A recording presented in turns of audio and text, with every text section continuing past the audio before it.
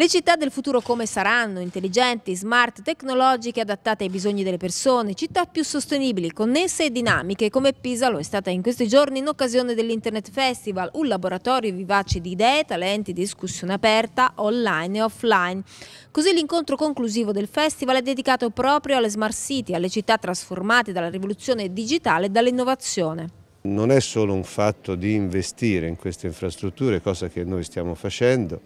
ma anche di costruire intorno un senso comune nell'uso e nel modo con cui anche le istituzioni devono imparare a muoversi in questi mondi. Città future hanno opportunità, non le abbiamo ancora sfruttate, quindi io mh, lavoro sempre sulle condizioni per poterci arrivare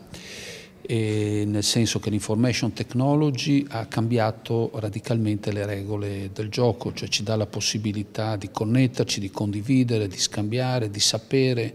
di vivere in un modo totalmente diverso rispetto al passato. E nel mio girovagare da esperto smart le più belle cose le trovo in una leva di giovani amministratori di piccoli e medi comuni che colgono la straordinaria opportunità, forse hanno meno complessità di fronte di Milano, di Genova e così via, quindi l'idea è quella di una via italiana fatta di mille esperienze diverse alle smart city. Così se i piccoli centri sono quelli più adatti a recepire il bisogno di rinnovamento delle città, anche grazie a giovani amministratori che ben stanno interpretando il profondo mutamento della società, possiamo dire che anche tutta la Toscana sta ben rispondendo al cambiamento già in atto, ormai da tempo, in tutta Europa. Dal punto di vista delle infrastrutture noi abbiamo eh, nel 2014, avremo nel 2014 per gli investimenti fatti, l'ultima tranche sono 40 milioni, qualcosa come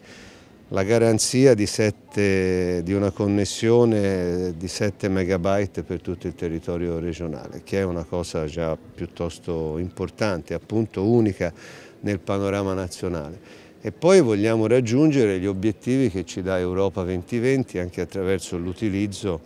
dei nuovi fondi comunitari su cui siamo molto in anticipo e stiamo lavorando.